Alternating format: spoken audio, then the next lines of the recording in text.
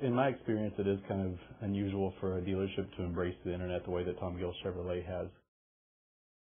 A lot of dealers seem to be set in their ways and reluctant to accept the change, and uh, the internet really has changed our industry in the last 10 to 15 years. It's made the customer a lot more knowledgeable. The internet is basically a big tool for them to learn about the vehicles and the pricing structure of the vehicles before they come onto the lot.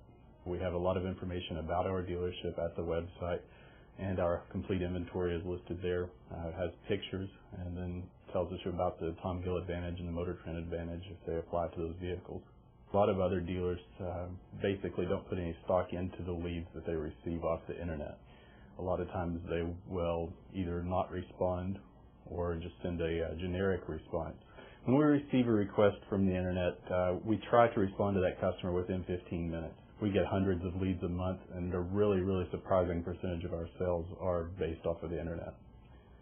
So I was going to tell the customer one thing, one advantage for you doing business with Tom Gill Chevrolet on the internet, it would have to be just the ease of the transaction.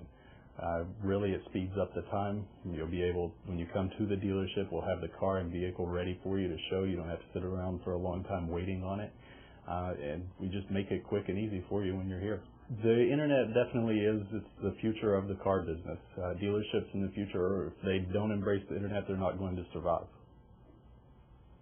It takes people of character to make a business of character. Tom Gill Chevrolet.